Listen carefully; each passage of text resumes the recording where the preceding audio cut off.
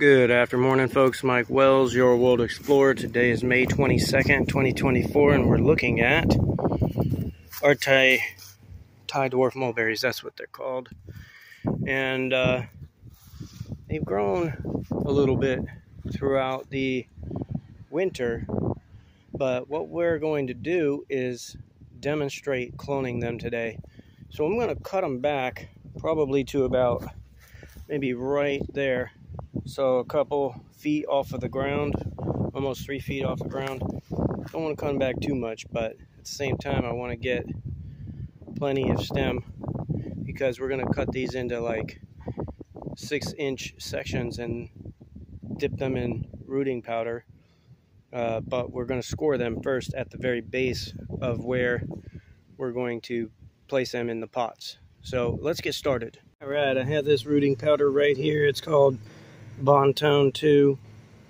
Alright, we got the branch right here. It's like several branches. So I'm just going to trim all these little peripheral branches off. This is one of the tips. I'm going to leave one tip. Eh, you know what? Let's scrub the tip. We'll deal with those in a second. Now I'm going to grab this. You need a, I'm just going to use a potato peeler. We're going to go ahead and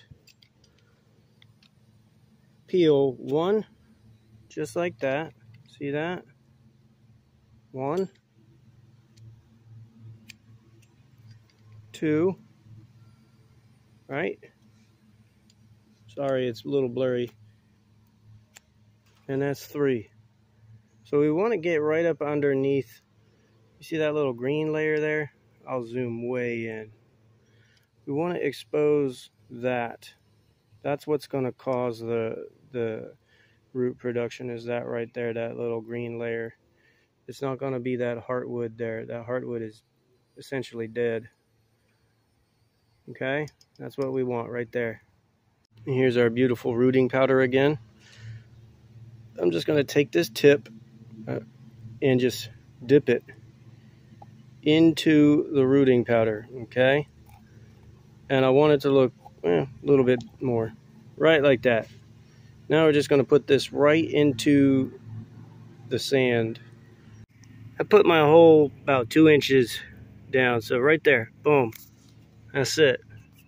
Now, and I'll go ahead and water that and you're good to go. Do that with all the rest of them. And uh, yeah, let's take a look at the smaller branches because I've never actually tried to clone with a smaller branch. Here's a smaller branch, okay? So I think what I want to do is snip off just some of the top, you know, the, the leaves that are closest to the bottom that I have to put into soil, right? So we'll do that. Go ahead and score maybe one and two. So two sides on this, right like there. See, nothing to it. And then we'll dip that, right? Let's get our powder go ahead and dip that. Boop, boop. And we're good to go. We'll go ahead and put that in the pot. Here's my two inches down. Boop. And that's it. Thanks for watching. Don't forget to like and subscribe as it helps the channel grow. And stay tuned as we want to monitor the progress of all of these clones that we're about to produce this summer season. Have a great day.